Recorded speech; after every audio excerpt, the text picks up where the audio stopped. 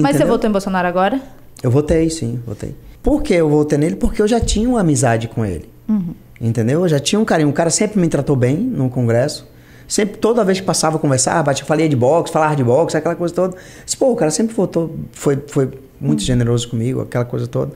E por isso, não, nu- nunca tive nada, nunca falei mal do PT aqui na Bahia, nunca falei mal. É, é, a única pessoa, não é que eu falo mal, a única pessoa que não tem gratidão comigo aqui na Bahia é, foi, em Salvador foi a Semi Neto porque eu mandei quase 7 milhões de emenda para Neto. Neto nunca me chamou quando eu era prefeito, nunca me chamou para uma inauguração de uma quadra ou do que ele fez com, com as emendas que eu, que eu mandei para aqui para Salvador.